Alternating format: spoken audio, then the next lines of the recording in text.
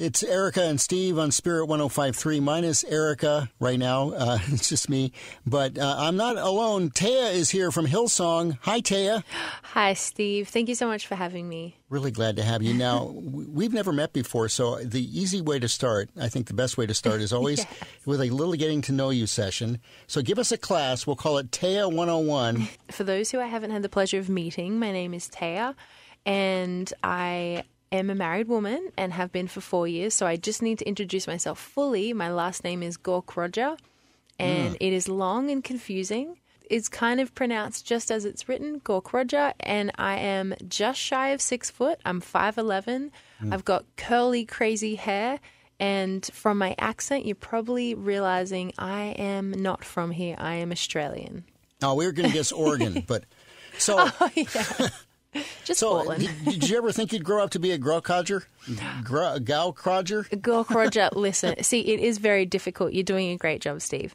I did not. My parents named me Taya because our last name was Smith. And so mm. they thought they just needed a, a little bit of flavor, you know, with right. with a beautiful, um, consistent last name. I'll say it that way.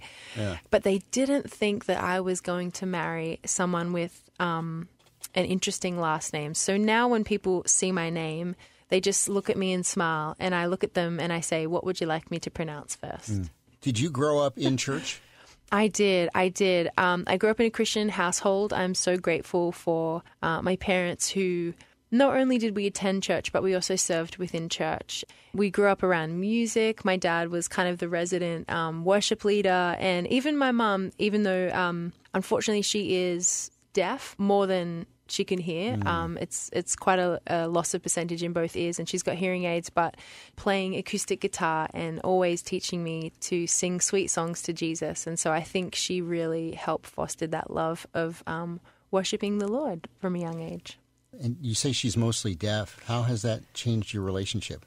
Well, let me just say, my mum is the greatest lip reader ever. and so even when we were, um, you know, growing up, she'd be driving and we would be in the back and I would say something under my breath. But let me tell you, I couldn't get away with anything in my household. My mum was reading my lips and she's like, Taya, I can see every word coming out of your mouth. So. Yeah to be honest, I think it's actually helped me read people, being sensitive towards other people and reading not just, say, what they're saying, but their body language, which is a great skill to have, but also sometimes I need to turn down that dial a little bit and not read as much into the body yes, language. Yeah. Exactly. What about growing up in Australia would surprise us mostly as Americans? Well, I'm sure that if you've had Australians on the show, that they may have told a little white lie that um, we have a lot of, I mean, well, it is true. We do have a lot of animals that um, could do you harm if you came in to encounter them in many, many places in Australia. Um, but there is something that is a little white lie, which is called a drop bear. So if you have an Australian and they tell you that there is such a thing as a drop bear, know that it's not true. And don't worry, there is not a bear that will drop out of the trees onto mm. you hmm. when you're walking along on the street. This is, is what they tell true. people. this is what they tell people. And I feel terrible. I have told one other person that. Mm. And um, then they left Australia and I forgot to tell them the truth that actually mm. I was only joking. And so for about three to four months, unbeknownst to me, they were walking along the streets, just looking up at the trees, going, "Please don't drop on me." but it's not true. So I'm, I did a terrible job of representing Australia. It is a beautiful nation. I think uh, now you guys seem to have a sense of humor that that story fits very well with, kind of yeah. collectively. It seems like to me. We're very so, sarcastic, yes. the song Oceans, which you sang with Hillsong, mm-hmm. is one of those songs that just really has blessed people like on another level. It's just it seems like does that is that song as special to you as it is to everyone else? I mean, you're very kind um, in saying that about oceans. I have such a love for that song. It be given an opportunity to steward someone else's words and revelation of who Jesus is. Um, that's not lost on me. And then, to be honest, that song is actually a prayer, and it was mm. something that I would need to sing just as much as perhaps people, you know, hearing it for the first time or even for the 50th time. I grew up not thinking ministry was a job because in Australia it's more of a secular nation. I didn't really grow up knowing that you could even work at a church as like a job or anything. I knew that I would always serve within church, but not necessarily step into ministry side of things and So I was working in retail and I knew I wanted to sing and I had prayed the prayer when I was 16 like God, would you use me? You know, I love to sing but whatever you want. That's, you know, that's what I care about. And so when I was gifted this song, I didn't even know if it would make the record. Like I didn't even, you know, my life changed when the Zion album came out, which is February 2013 and I was um, singing the song Oceans. And I'm so thankful that it was a prayer because it was literally giving me words to the season that I was about to walk into, which is, you know, yeah. God taking me to places where I would have no borders, that I would need to completely trust Him wherever He would call me, and that He would take me deeper, you know, further than any place that I've ever gone before. And I'm so grateful for that prayer because, again, it's been a prayer that has held me in places and you know, positions that I'm like, God, what am I doing here? I'm a country girl from Lismore. I'm not even from Sydney, let alone, you know, traveling to America and around the world getting to represent you. Like, I'm going to trust that you're going to anoint me for this, God, but I'm just going to be obedient to your Holy Spirit and step out in faith. And so I'm very grateful for that song, Oceans. So, what was particularly special about Easter this year for you? Well, it's the most powerful you know moment that we get to celebrate really other than christmas time which is jesus' birth. And i don't know if it's technically the exact moment in the jewish calendar when they say it happened but you know easter is everything as a christian. Um, we should never not celebrate it and never you know get away from it at all because it's you know the reason that we get to stand in the presence of god the reason you know as a worship leader um, it's not lost on me that i get to stand in the presence of god and i don't get knocked down but rather i'm invited in and i'm allowed to even behold him. And and it was special for me this year because I have this record that I've been working on just secretly, you know, for the last 2 years just no pressure is good pressure for me and it's coming out next month and on Good Friday I got to release my second single called All Eyes on You. It was a song that was about the difference that Jesus made in the heavenlies when he came down, he lived a perfect life. He came as humble as a baby. He lived a perfect life down here as a perfect sacrifice and died obedient to the Father, asking of him to come and sacrifice himself so that we could be reconciled back to our Heavenly Father. And so I'm just so grateful for Jesus, and I could talk about that forever. Tell us about the song For All My Life. Yeah, so this was the last song that we wrote before we were then going to be, you know, in the studio for a week recording the songs we had written in in a a little trip that we made to America last year. It came out of a discussion. I was talking with John Guerra, who's my producer and one of my closest friends, and he's also a co-writer as along with Hank Bentley.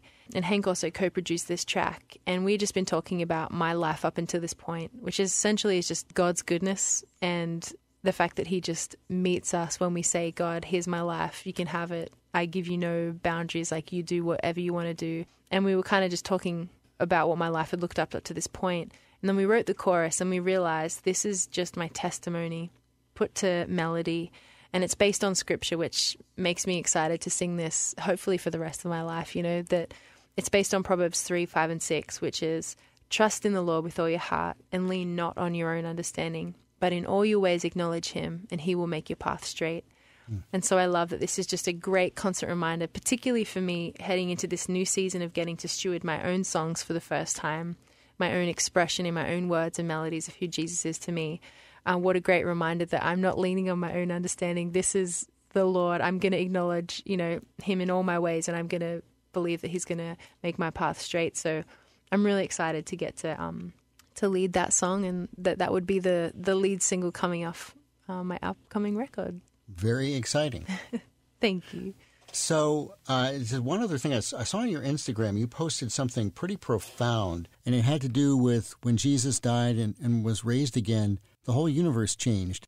That was the sermon that had impacted me so much in 2019. It was the first conference I was invited to go to that wasn't, you know, at our own church. I was definitely praying oceans that time, like, Lord Jesus, please lead me. And I thought I was there to serve, but I really believe I was there just to receive and to pick up this revelation. Um, is humble, seasoned pastor Darrell W. Johnson. His whole ministry um, at this point in his life, he really just felt that he's there to help young worship leaders know who it is that we are actually worshiping and having a good sound theology behind us. And for that to be someone's mission as well is such a beautiful humbling thing. And I'm so grateful for that. Again shout out to you know local churches. It's meant to be multi-generational for a reason. And you know, meant to lean into others' revelation of who Jesus is as well to spur us on. And I'm so grateful because that message impacted um, my life. I couldn't get it out of my heart. I kept coming back to it. It's based on Isaiah 6 and then also Revelations 4 and 5. And it's the same kind of snapshot of heaven.